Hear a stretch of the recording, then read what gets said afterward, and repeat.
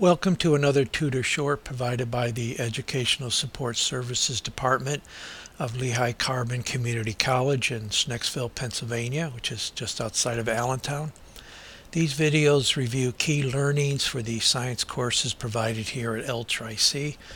And please remember that the Educational Support Services Department does provide walk-in tutoring five days a week. Today we'll look at standard temperature and pressure and uh, molar volume. When dealing with gases, uh, scientists wanted uh, a way to do comparison between properties of different gases and they realized that they needed to do this in a standard way uh, and what they came up with is to uh, look at those gases at a standard temperature and pressure they selected 273 degree Kelvin for the standard temperature. Uh, that's equivalent to 0 degrees centigrade or 32 degrees Fahrenheit, essentially the um, melting point of water for the standard temperature.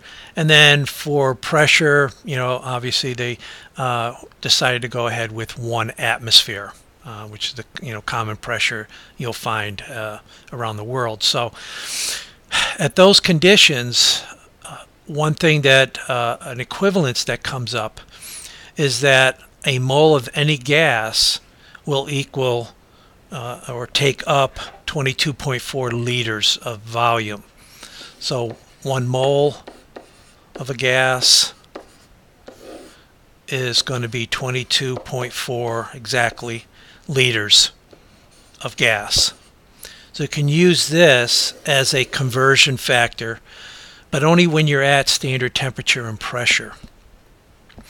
And so, how you'll uh, deal with this in your uh, science courses is uh, how we'll show here an example.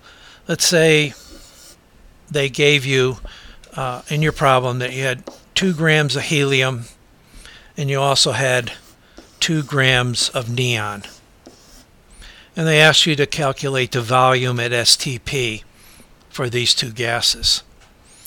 So what you would do first, because the molar volume, the mole per liter, only applies uh, to moles, first you have to convert uh, to moles.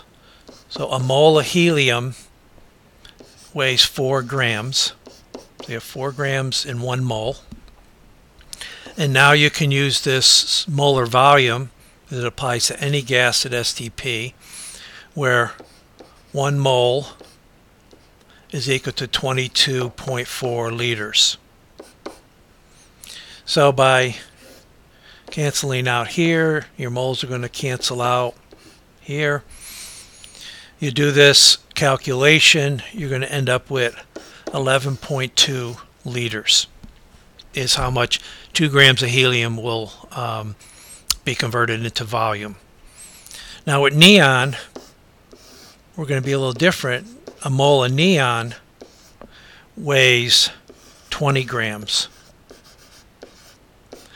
And then the molar volume, again, applies to any gas, so that stays the same, is one mole of neon.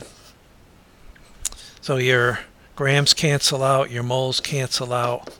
Now you'll see your answer is 2.24 liters. So even though you have the same amount of weight of helium and neon here, because of the difference in molecular weights, they will uh, occupy a different volume uh, at STP. And that's the uh, important factor to remember when you use a molar volume is that um, which gas you have does affect the weight. But as far as moles, any mole you have of a gas at that temperature and pressure is going to be the same volume. So this is the type of problem they uh, you may come across in your science course. Thank you.